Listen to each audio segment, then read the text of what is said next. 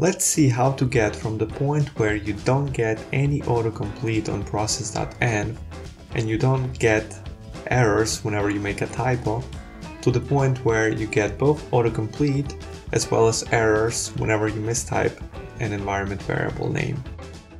First, we need to create a declaration file. Let's call it env.d.ts. In this file, we will extend the global process env interface.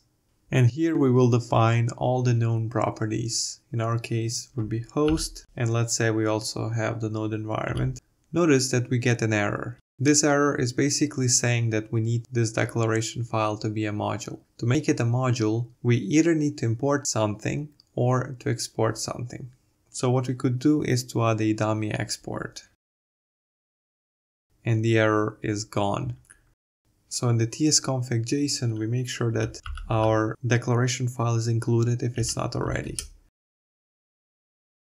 And now we actually get autocomplete. So we have host and node environment. So let's access host. Let's also access the node environment and notice that the type of host is string while the type of env is development or production. Now let's see how we can actually get an error whenever we mistype an environment variable, like in this case. This can be achieved by adding an option in tsconfig. And the option is no property access from index signature and we need to set it to true. And what this property essentially does is that if we try to access a known property from an object, then we can use the dot notation. But if we try to access a property that is not explicitly specified, TypeScript will expect us to use the square bracket notation. You see that we get an error for the mistyped environment variable. Hot comes from an index signature, so it must be accessed with the square brackets.